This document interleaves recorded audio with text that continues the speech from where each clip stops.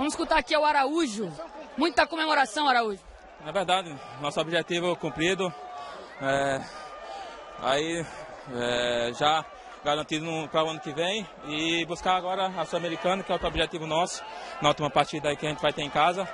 Né, e está tomando de parabéns pela luta. Desde o começo, o nosso time sempre manteve um ritmo bom, né, ganhando jogos importantes e merecemos, pelo trabalho, ficar na primeira divisão.